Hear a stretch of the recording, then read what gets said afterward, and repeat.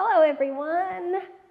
2022 is already here and in full swing. January is half over already, and we are already looking forward to February, the month of love.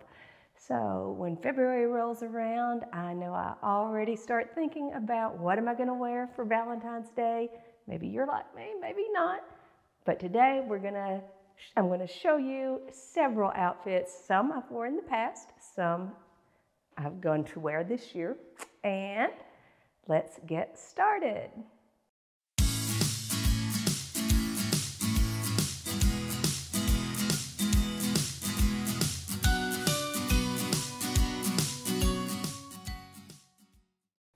Hello, my name is Tania Stevens, and I'm the face behind 50 is Not Old. I want to welcome you to my channel. I hope here you will find something of value for you to help you with your confidence in your appearance, whether it's in fashion or in beauty.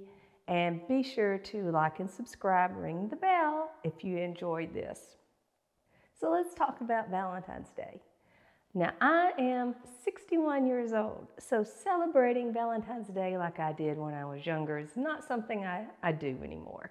Uh, Joe and I very seldom go out, big elaborate meals, um, no candlelight dinners. I doubt if I'll be getting roses or anything like that. Instead, usually what I get for Valentine's Day is chocolate covered strawberries, which are my favorite. I love, love, love, love chocolate covered strawberries.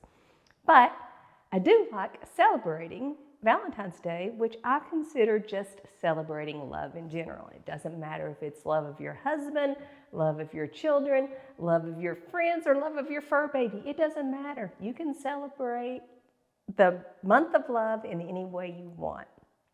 So, I'm going to show you some outfits that I usually wear and don on for Valentine's Day.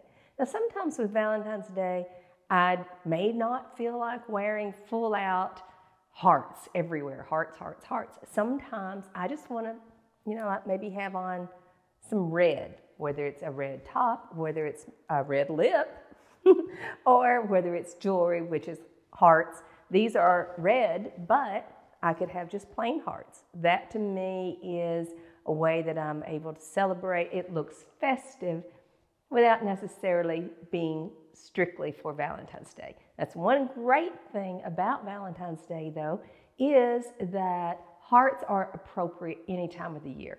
So if you want to wear hearts in June, wear hearts in June. It doesn't matter. If you want to wear red, wear red anytime you want. But for Valentine's Day, I usually start wearing bits and pieces of red, little you know, t-shirts or whatever that has hearts on them or says love on them or something for, well, when February 1st rolls around. That's when I'm going to start wearing it. It gives me two weeks to celebrate in the festive style. So the first outfit I'm going to start with is this red jacket. It's old. In fact, I'm not even sure if I still have this jacket. But wearing a red jacket with a white button down and blue jeans, you can wear this any time of the year. But if you wear it around February in Valentine's Day, it just looks festive. You can choose to put anything heart with it or not, but just the color red will look festive. And as always, I put on a red lip when I'm wearing my red uh, outfits for Valentine's Day. The second one is also a red blazer. It's a little different style, and this one has a love graphic t-shirt underneath it. So the graphic is white t-shirt and it just says love on it. That works out great. And instead of blue jeans with this one, I wore gray wash jeans. You don't have to wear the same red, white, and blue all the time. You can mix it up just a little bit. And for this look, it is also a red blazer, but I put a leopard print top underneath it. It looks a little more dressy than the other two outfits, but it's still festive looking, perfect for a date night for Valentine's Day. And with that one, with the leopard print. I still wore blue jeans, but it just gives it a di little different look. It's still a little more dressy, even though it is casual. And for the final outfit with a red blazer, this one is a red velvet blazer. And it also has a white graphic tee, but the tee has lots of little hearts all over them. And I love this look. I think it looks great. I have black jeans on with it. It's just show you how you can wear all different color blue jeans with your Valentine's Day looks. And if it, wearing red blazer is too bold or too draws attention to yourself too much, you might want to go with navy like the one I have on here or the one I have in this photo. Once again, it is navy. That one is a double-breasted blazer versus the one I have on today, which is a single-breasted. But I still have on a red top and blue jeans with the look. I think this look is very dressy looking. It's perfect for if you have to wear to work and you don't want to be too Valentine's Day, you just want to be festive, then wearing the navy with the red top is very festive looking. If you don't work and you enjoy casual clothing instead, then why not try a denim jacket? This denim jacket is with paired with a pair of black jeans and a black tee. So the black tee has tiny little hearts all over it. If you're not up close, you can't even see that it's hearts, but it's colorful. And that is just a whole nother way of celebrating and looking festive in your clothing.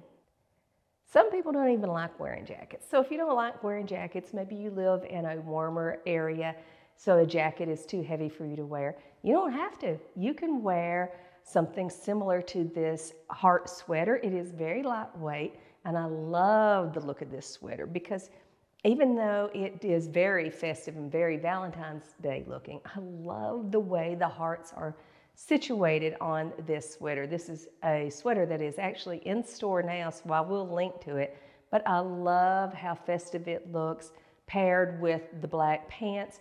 It is very dressy, perfect for wearing out, uh, whether it's your husband on a date night, meeting some gals for a lunch, for a Galentine's Day, or whatever. I love this look. I think it's great. And you talk about casual. This is about as casual as you can get. This look is actually a pajama top. And I think it's cute when just done the one side tuck, which is very popular right now, and put it into a pair of um, boyfriend jeans. So these are large, they're baggy, they're more loose looking, very casual looking, and throwing on a pair of sneakers. I think that look is very cute run around town means look at me, I'm celebrating Valentine's Day. Ah, and the last look I'm going to show you is not red. So you don't have to wear red. One of my favorite Valentine's Day looks is a gray sweater with a big heart on it that is in like dark charcoal sequins. Love that. I love I wear it all the time. So I don't just wear it for Valentine's Day. But this look is pink. And when I say pink, it is hot pink. Look at these hot pink pants. These are so cute. And I took, I paired it with a um, denim ruffled top, which you can wear, of course, year round. It just breaks up the look from the hot pink and the pink cardigan. So the cardigan is kind of an ecru. It's not a true white and then the pink hearts on it. I just think this is so cute, so festive. Not red, but very, very Valentine's Day looking. Anyway, I don't know if you choose to celebrate Valentine's Day, how you choose to, but these looks can be worn any time of the year, not just at Valentine's Day. And I hope you enjoy yourself and have a wonderful Valentine's Day. Just remember, Age is an attitude. Keep yours young.